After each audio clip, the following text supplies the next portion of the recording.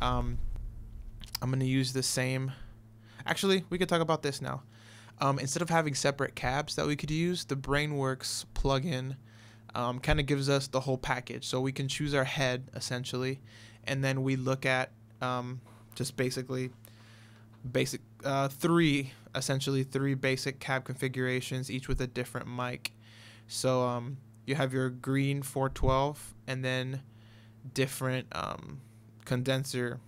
Yeah, so it's a greenback, essentially a 412 greenback cab with a condenser 563. Then it has different variations of it.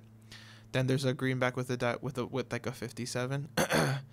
then you have uh, black, orange, which I believe is an orangey, and this DZL. I'm not entirely sure what the black or DZL are. I'm assuming the black would be like a Marshall kind of cab deal. And DZL, if anyone has any clue what these are, let me know. All I know is that it does have a kind of a Royer ish thing on it. These actually sound pretty thin, so if we were to switch this up, um, let's start with clean. Um, I'm gonna just gonna go through each of these. So I'm gonna skip the ABs. I'm just gonna go for the A's. So, so let's listen to the green. Uh, so the clean 530 through the greens. Right now I am on my lead setting on my guitar, so that is the bridge humbucker. I'm gonna go to the neck humbucker. Okay,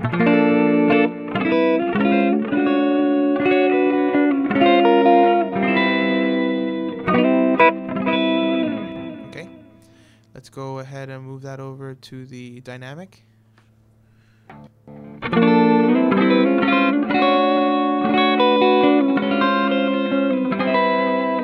And the reason I'm checking these in clean is because we can see the subtle nuances instead of having something really, really driven where everything just kind of gets washed up in a distortion. So um, the clean is, I feel, the best way to listen to these cabs. Um, so there's definitely a difference between these condenser versions and the dynamic. Um, the dynamics feels a little thinner. The condenser feels a little more full. So let's go back to the condenser real quick.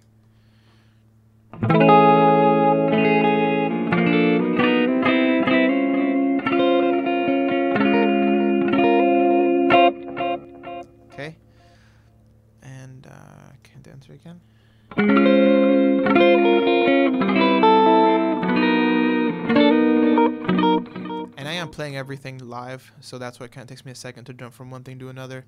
Let's listen to the blackface. Good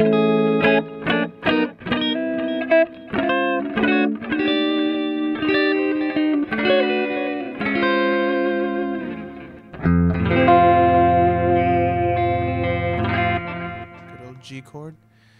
Um, listen to the dynamic on the black. Maybe we hear something different.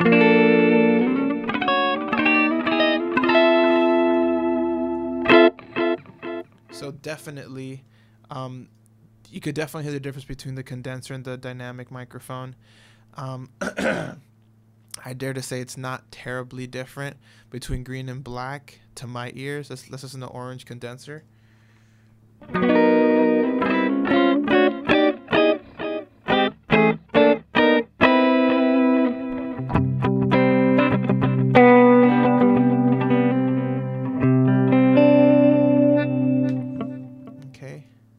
Let's try listening condensers back to back. Oh wow. Yeah, there's a big difference between orange I feel is a lot smoother. Let's go to green.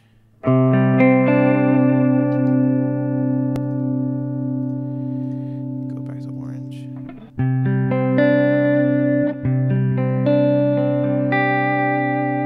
So definitely a nice um, smoother. I, I kind of dig that orange.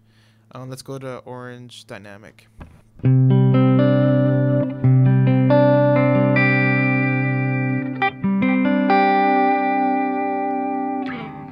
So that's that sounds nice. Um, these ribbons are super thin, so let's give those a listen.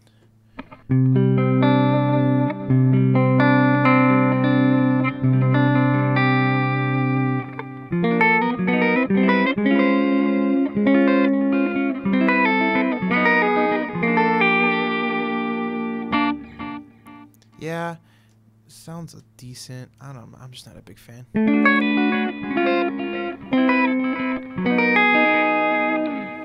Um, when I think ribbon, I think something a little darker.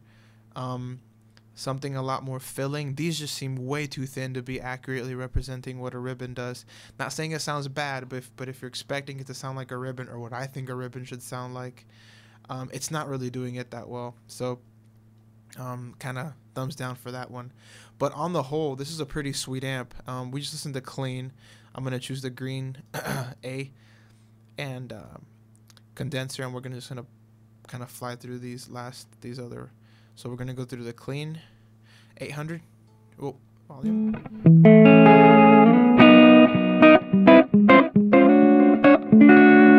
Decent clean. I'm going to switch to the split coil now. Um, neck position.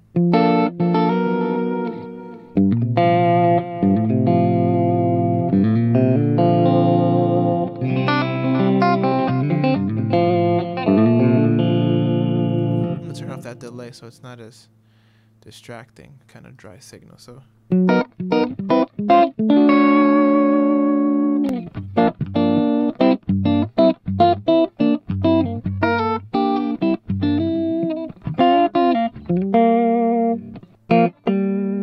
actually going to turn the guitar volume down so we get a little more out of it.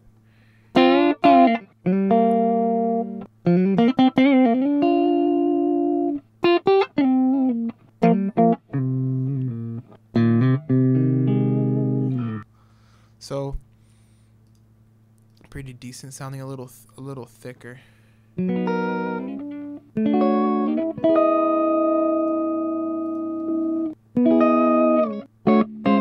Different flavor of clean, definitely a little darker, the clean 800 than the clean 530. If we go to crunch 800, grab a pick for this one. Definitely hear it wind to break up. And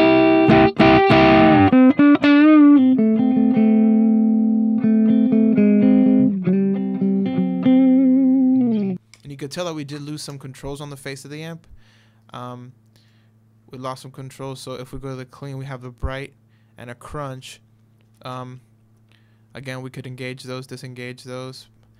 The 800, we lose those two, but I believe, was that presence in there? Yep, same thing was. The crunch, we lose them, but we do have a gain here, so I'm going to play this with my fingers.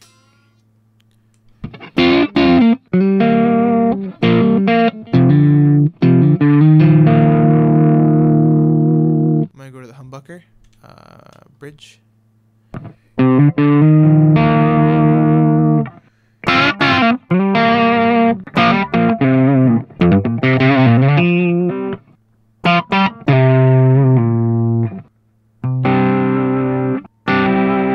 Um, it's a it's an it's an even breakup, which is what I like about these amps. They really got the breakup right, and um, dynamically these amps work really well. What I mean by dynamics, like like the harder you play, the better they react. It's easier done with a pick. So let's go ahead. I'm gonna start softly. You could hear the gates kicking in, but ignore that.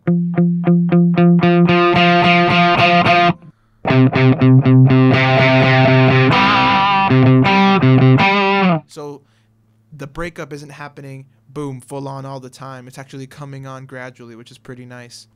So let's go ahead and skip over to the modern rock. This should be a little more driven.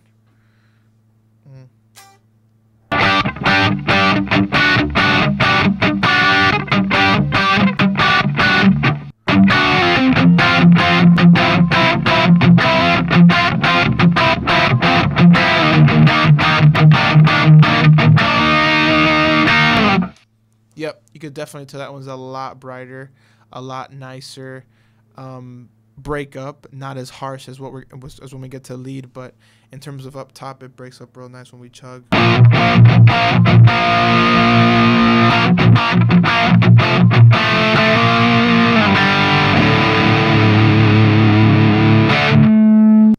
Yep, pretty nice um, rhythm breakup tone. Again, this is my bridge. Pick up really nice and bright, clangy kind of. Um, if we were to go to a single coil, um, I could do that again. Oh, you could definitely hear that.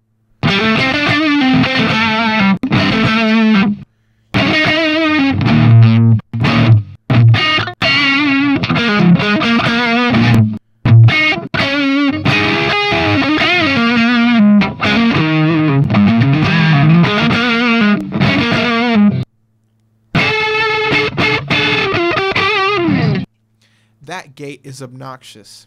Um, it is clicking on and off and is super annoying. But again, you could disengage that, put on your own gate with a lot smoother of a of an attack, and you could get that to sound a lot better. Um, what I did here is if we were to listen again.